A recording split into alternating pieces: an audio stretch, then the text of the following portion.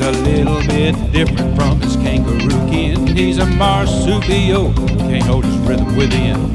Rock and roll star is what he really wants to be. He was born to rock because he's a rock wallaby. Rock on, Joey. Show me some hot licks on that air guitar. To a different beat, he moved while in his mother's pouch. He just couldn't keep still. He slouch. When she finally let him loose and he hit the ground, she tried to make him hop, but he just danced all around. Rock on, Wallaby, yeah, rock on.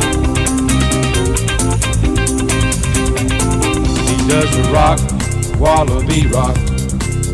He's a jumping and a hopping up and down from spot to spot. He does the rock, Wallaby rock. He's a rockin' and a rollin'. He's so cool cause he's hot.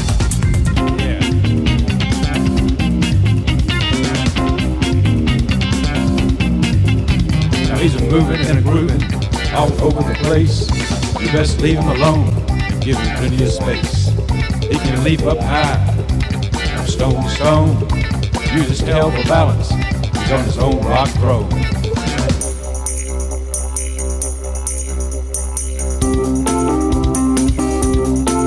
He makes the most of his dangerous rocky habitat. One slip of his large feet, there's no telling where he'll land at. Ledges and boulders are his stage. He scrambles as he needs be. During the day, he rests in crevices and caves, so it's hard to see.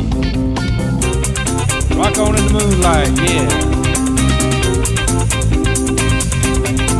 At night, he likes to feed on fruit, leaves, shrubs, and grass. What little he can find, he has to make it last. In the nightlife, he loves to rock, but we just can't see those cool moves that he can make, cause he's a rock wallaby.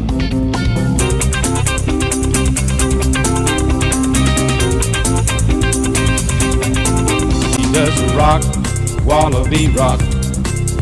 He's a jumping and a hopping up and down from spot to spot. He does the rock, wallaby rock. He's a rockin' and a rollin'. He's so cool cause he's hot. You're really rocking now. That's some good air guitar licks there. Wallabies are similar to kangaroos, but just on a smaller scale. Both are marsupials with pouches, have large feet, strong legs, and a muscle tail. They're all in the family macropods, which means big feet. They're nocturnal herbivores and munch on grass and other vegetation they love to eat.